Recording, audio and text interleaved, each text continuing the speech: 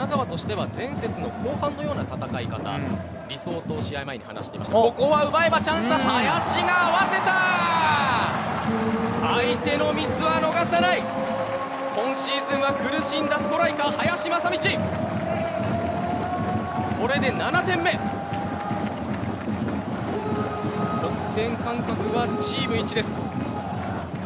ミスを見逃さずバックパスに対してでここもねワンタッチコントロールするかなと思ったんですけどねそのまま流し込みましたよね、はい。この辺も冷静ですよね。キーパーの動きも見てキーパーの位置を見てあとゴールの位置もしっかり把握して。止めて角度を変えて自分の得意な体勢になるまでっていうのでコントロールしてるとひょっとしたらキーパーに対応される可能性があったところをええ